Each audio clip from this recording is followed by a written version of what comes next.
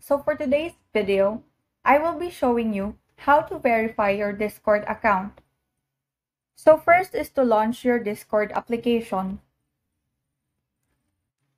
Swipe right and you will see your profile icon located on the bottom right corner of your screen.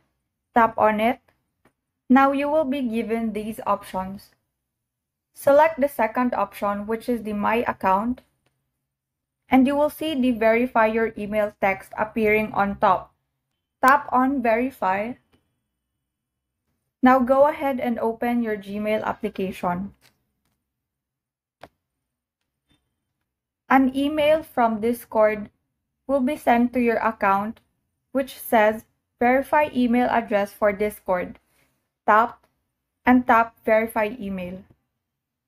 It will direct you to this page which says email verified.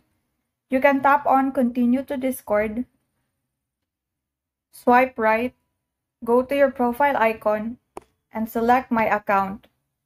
You will notice that the text appearing on top is now gone, which means that your email has already been verified. That is all. Thank you and have a great day.